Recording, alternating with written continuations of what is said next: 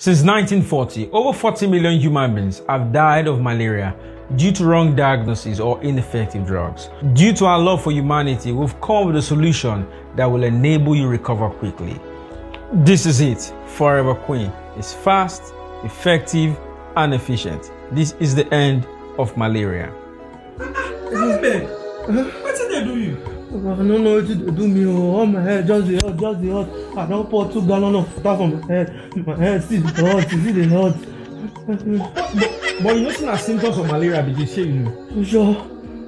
Na sy- na symptoms ah you never hear of Forever Queen? Forever Queen, which Yes. one be that? Ah ah!